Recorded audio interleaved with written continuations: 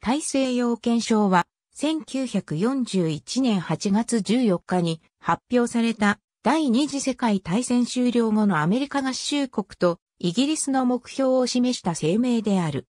戦後に起きた大英帝国の解体、北大西洋条約機構の結成、関税と貿易に関する一般協定の制定などは、すべて大西洋憲章から派生したものである。イギリスの戦艦、プリンス・オブ・ウェールズ艦上のルーズベルトと、チャーチルナチスドイツのヨーロッパでの勢力拡大と1939年9月のイギリスの対独宣戦布告の中、アメリカ議会は11月に中立法を改正して維持したが、アメリカ合衆国大統領フランクリン・ルーズベルトは、戦争状態にある国への武器の輸出を政府の認可制度によって可能にした。連合国は1941年6月のセントジェームズ宮殿宣言で第二次世界大戦後の世界に対する理念やビジョンを初めて表明した。ナチスドイツのソ連侵攻後の1941年7月には英ソ軍事同盟が締結され、両国の間で同盟関係が結ばれた。アメリカ議会は1941年3月には武器貸与法を成立させた。アメリカのルーズベルト大統領とイギリスのウィンストン・チャーチル首相は1941年、大西洋のプラセンティア湾で会談し、後に大西洋憲章としてまとめられる内容を協議した。会談終了後の1941年8月14日、湾内のアメリカ海軍、アルゼンチア海軍基地で共同宣言を行った。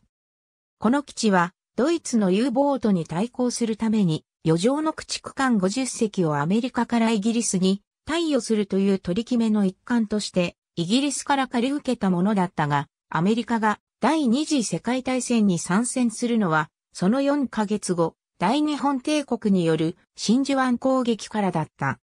大西洋憲章のアイデアの多くは、国際的な安全保障のために、英米の協力を求める、英米国際主義のイデオロギーに由来するものである。ルーズベルトはイギリスを具体的な戦争目的に結びつけようとし、チャーチルはアメリカを戦争に結びつけようと必死になっていたことが、大西洋憲章を策定する会議の動機となった。当時は、この憲章の原則に基づく戦後の国際組織において、イギリスとアメリカが同等の役割を果たすことが想定されていた。チャーチルとルーズベルトは第二次世界大戦中に1939年以降で11回の会談を行った。この会談は秘密裏に行われたもので、ルーズベルトは10日間の休暇と称して会談に参加していた。1941年8月9日、チャーチルを乗せたイギリスの戦艦プリンス・オブ・ウェールズがプラセンティア湾に入港し、ルーズベルトとそのスタッフは従順洋艦オーガスタで出迎えた。対面した両者はしばらく沈黙していたが、チャーチルが AT ロングラスとミスタープレジデントと言い、ルーズベルトはグラッドツーハブユーアボード、ミスターチャーチルと答えた。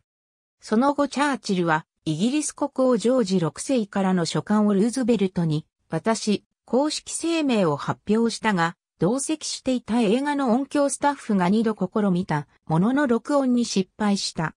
ウィンストン・チャーチルが編集した検証の最終走行印刷版の大西洋、検証大西洋検証では、アメリカがこの戦争においてイギリスを支持することを明確にしていた。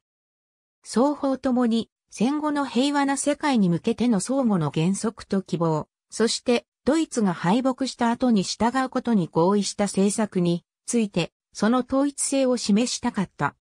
大西洋憲章の基本的な目的は、戦後の平和に焦点を当てることであり、アメリカの具体的な関与や戦争戦略に焦点を当てたものではなかったが、アメリカの戦争への関与の可能性は、ますます高まっていった。この検証には、次の8つの主要条項があった。アメリカとイギリスは、領土拡大を求めないこと領土の変更は、関係国の国民の意思に反して、領土を変更しないことすべての人民が民族自決の権利を有すること貿易障壁を引き下げることすべての人により良い経済、社会状況を確保するために世界的に協力すること恐怖と欠乏からの自由の必要性海洋の自由の必要性侵略国の軍縮と戦後の共同軍縮を行うこと。第3条では、すべての国民が自分たちの政府の形態を決定する権利を持っていることを明確に述べているが、自由と平和を実現するために、社会的、経済的にどのような変化が必要なのかは述べることができなかった。また、この条項の解釈については、両者で意見の相違があった。第4条の国際貿易に関しては、勝者も敗者も平等な条件で市場アクセスを与えられることを意識的に強調している。これはパリ経済協定に代表されるような第一次世界大戦後にヨーロッパ内で確立された懲罰的な貿易関係を否定するものであった。戦後に必要となる国家的、社会的、経済的条件については、その重要性にもかかわらず、二つの条項のみが明示的に述べられている。この検証で署名された文書は存在しない。この文書はいくつかの草案を経て遂行され、最終的に合意された文章は、イギリス首都ロンドンとアメリカの首都ワシントン DC に電報で送られた。ルーズベルトは、1941年8月21日に議会に対して検証の内容を伝えた。後にルーズベルトは、私の知る限り、大西洋検証の写しはない。私は持っていない。あのイギリス人も持っていない。それに一番近いのは、オーガスタとプリンス・オブ・ウェールズの無線通信士だ。それが一番近いものだ。正式な文書はなかったと述べた。イギリスの内閣は承認の返事を出し、ワシントンからも同様の承認が電報で伝えられた。その過程で、ロンドン側の文書に誤りがあったが、その後修正された。チャーチルの回顧録、第二次世界大戦では、いくつかの言葉の修正が合意され、この文書は最終的な形になったと結論付けている。署名や式典については触れられていない。チャーチルが書いたヤルタ会談の記録には、ルーズベルトが不分立のイギリス憲法について、これは大西洋憲章のようなもので、文書は存在しないが、世界中が知っている。彼は自分の書類の中に自分と私が署名した一部を見つけていたが、不思議なことに、両方の署名が彼の自筆であったといったことが引用されている。1941年8月14日にこの憲章が公開された時には、 Joint Declaration by the President the Prime Minister というタイトルで、一般には共同宣言と呼ばれていた。これをアトランティックチャーターと最初に呼んだのは労働統計の新聞、デイリーヘラルドで、チャーチルが1941年8月24日の議会で使用したことで、広く使われるようになった。他の連合国や主要組織は、この検証を迅速に承認した。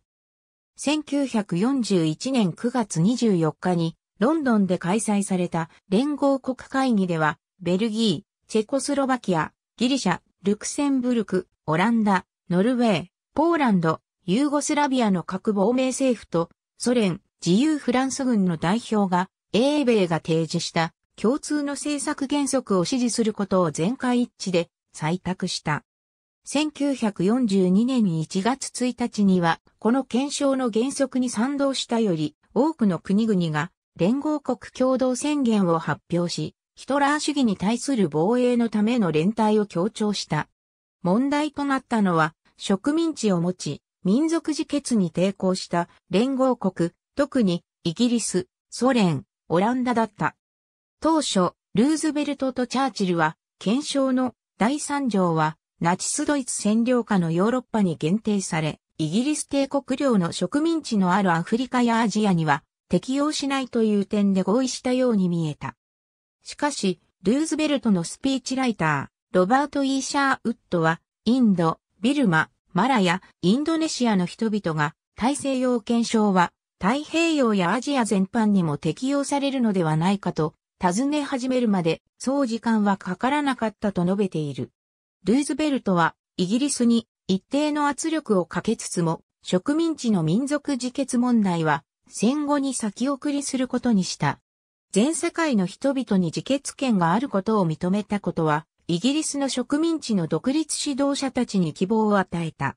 アメリカは、この検証は、この戦争が自決権を確保するために行われていることを認めるためのものだと主張していた。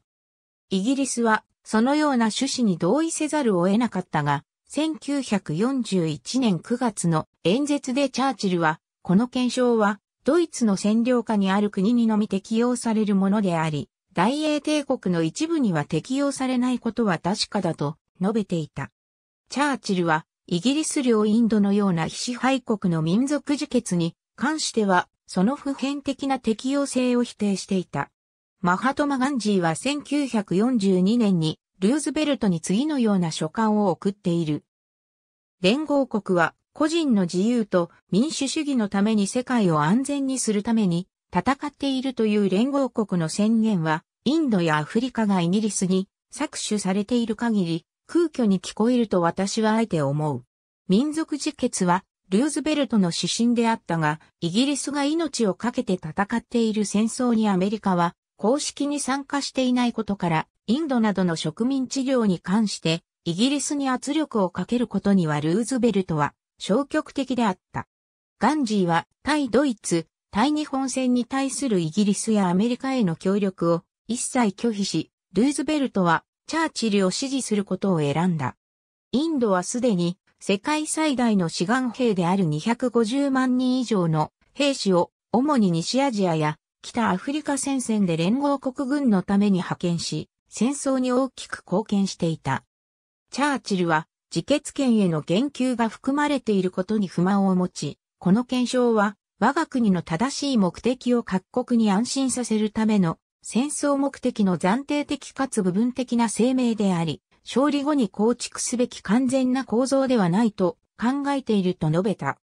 ポーランド亡命政府の事務所は、ブワディスワフ・シコルスキに民族自決に関する検証が実行されれば、ポーランドが望むダンツヒ、東プロイセン、ドイツ領シレジアの一部の併合ができなくなると警告する手紙を出した。そのため、ポーランドはイギリスに働きかけ、検証の柔軟な解釈を求めた。ドイツ敗戦後、これらの地域はドイツから分離されて、ポーランドとソ連に併合された。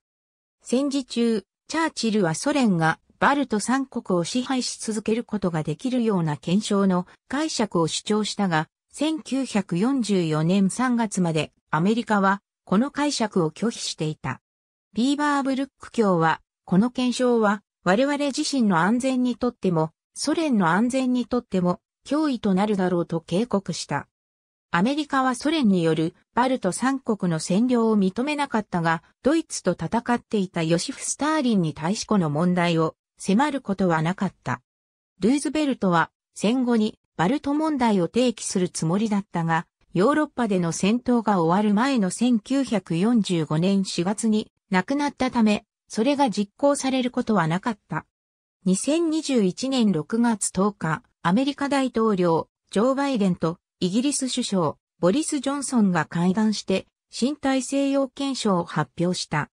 8項目で民主主義を守ることや気候変動、サイバー攻撃への対処など21世紀の課題に対応するため体制要件書をアップデートしたと位置づけている。ありがとうございます。